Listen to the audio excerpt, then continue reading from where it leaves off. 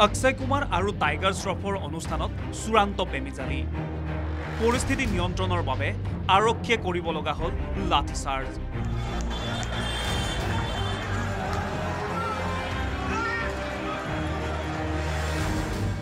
অক্ষয় কুমাৰৰ আহিবলগীয়া ছবি চটেমিয়াৰ প্ৰচাৰৰ বাবে মঙলবাৰে লক্ষ্ণৌত উপস্থিত হৈছিল অভিনেতা অক্ষয় কুমাৰ আৰু টাইগাৰ শ্ৰফ।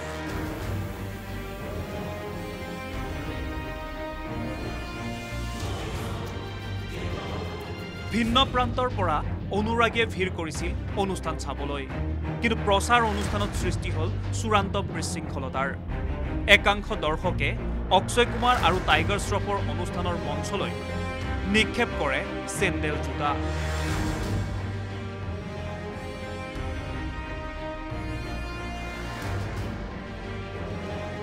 তৎমুহূৰ্ততে পৰিস্থিতিয়ে ভয়ংকৰ ৰূপ ধাৰণ কৰে। পৰিস্থিতি নিয়ন্ত্ৰণ কৰিবলৈ উত্তৰ প্ৰদেশ আৰক্ষীয়ে উত্তেজিত দৰ্শকক নিয়ন্ত্ৰণৰ বাবে লাঠিচাৰ্জ কৰিবলৈ বাধ্য হয়। খবৰ অনুসৰি এই হুলস্থুলীয়া পৰিস্থিতিৰ ফলত কেইবাজনো লোক গুৰুতৰভাৱে আহত হয়।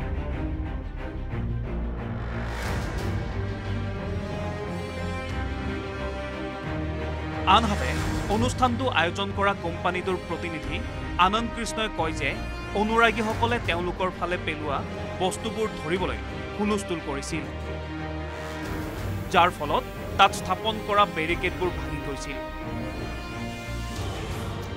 আয়োজক সমিতিৰ সৈতে জড়িত এজন ব্যক্তিয়ে কয় যে নিৰ্ধাৰিত সময়ৰ বহু আগতেই অভিনেতাসকলে শ্ব'টো মাজভাগত এৰি থৈ গৈছিল।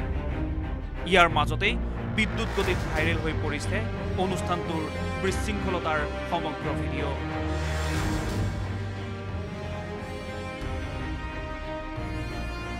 news desk report News eighteen North East